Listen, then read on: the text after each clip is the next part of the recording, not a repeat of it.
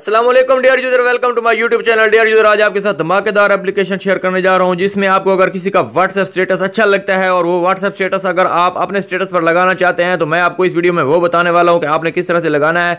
दोस्तों, बहुत ही सिंपल सा आसान तरीका स्टेटस लगाने का, और ये स्टेटस लगाना कोई मुश्किल बात नहीं है। तो आपके साथ शेयर कर रहा हूँ, काफ़ी दोस्तों को पता होगा, काफ़ी दोस्तों को नहीं पता तो वो अक्सर औकात देखते हैं कि वो मैसेज आ रहे होते हैं उनके ये वाला स्टेटस हमको भी सेंड किया जाए। किसी का भी स्टेटस लगाने का तरीका है, वो बहुत ही आसान है। मैं आपको पहले चेक करवा देता हूँ, किसी भी स्टेटस को आप ये वाला स्टेटस जब देखते हैं व्हाट्सअप स्टेटस जो आपको किसी का भी अच्छा लगता है तो वो वाला स्टेटस जो है, आप चाहते हैं कि मेरे स्क्रीन पर भी आए, मेरे व्हाट्सएप पे या मेरे दोस्तों के पास भी जाए तो आपको ये लगाने का तरीका मैं बताता हूँ, बहुत आसान सिंपल सा तरीका सबसे पहले आपने प्ले स्टोर पर जाना है।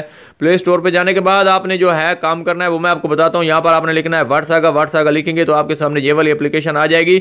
इसको आपने इंस्टॉल कर लेना है। इंस्टॉल करने के बाद इसको करना है ओपन ओपन जब हो जाएगी तो आपके पास ये वाला स्टेटस जो है, तमाम आ चुके हैं। तो बहुत ही आसान सिंपल सा तरीका ये आप देख सकते हैं इस व्हाट्सएप स्टेटस पर करते हैं क्लिक क्लिक करने के बाद आप देखते हैं सेव के बटन पर करता हूँ क्लिक क्लिक ये व्हाट्सअप स्टेटस जो हमारा सेव हो चुका है।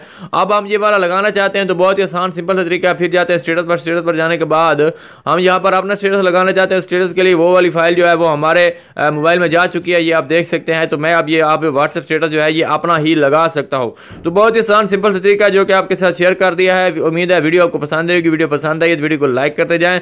चैनल को सब्सक्राइब करते जाएँ। ऐसी मजीद वीडियोस के लिए बेल आइकन को ज़रूर प्रेस करें ताकि आपको हारने वाली नई वीडियो का जो नोटिफिकेशन है, वो मिलता रहे। दोस्तों, मुझे दीजिए इजाज़त, अपना ख्याल रखिए। अल्लाह हाफिज़।